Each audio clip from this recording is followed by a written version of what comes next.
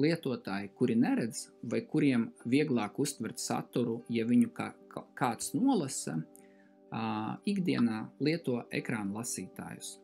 Ekrāna lasītājs ir programma, kas izrunā lapā redzamo tekstu uh, skaļi.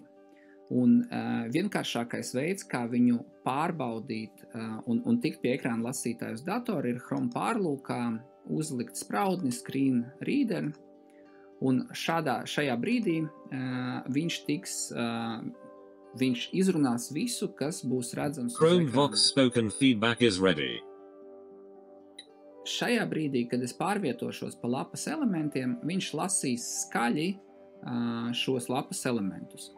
Um, ekrāna lasītāji um, mēdz izmantot dažādas valodas, bet populārākā priekš latviešu valodas ir angļu, jo latviešu valodas runas sintēzes robots vēl nav tik labs no neredzīgo lietotāju perspektīvas.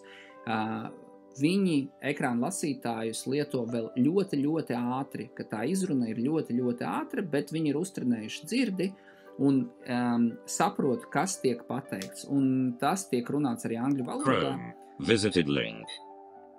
Un tad, kad es pārvietojos pa lapu, um, viņš to nolasa. Ja man lapa būtu kādā citā populārajā valodā, tad vācu vai franču, tad uh, ekrāna lasītājs spēja lasīt um, angļu vai franču valodās tekstu, bet priekš latviešu valodas bieži vien tiek izmantots uh, to angļu valoda. Uh, un tas lietotājiem ir saprotami. Lai noņemtu ekrāna lasītāju atpakaļ Chrome Web Store, tab. Chrome aplikā lietotņu veikalu, un tad šeit spiežam Exit remove, remove from Chrome. Remove, un tad uh, ekrāna lasītājs pārstāja uh, izrunāt visu, kas ir redzams uz ekrāna.